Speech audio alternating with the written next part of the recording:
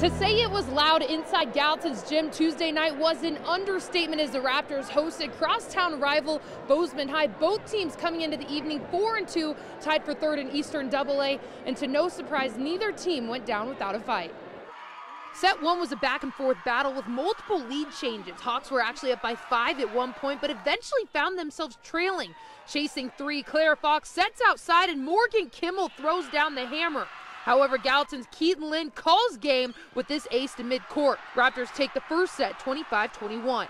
Hawks evened it up in set two thanks to some of their standout sophomores. Bria Izey throws it down at middle for a 23-21 lead, and then finished off by Kimmel once again capitalizing on an overpass ball. Hawks rode their momentum into set three, and here's Clara Fox tricking Gallatin with a dump to the short left corner. Hawks win by 8, 25-17, and they seal the deal the following set with this textbook bump set spike by Clarissa Stratman down the left line. Hawks win in 4, 25-20.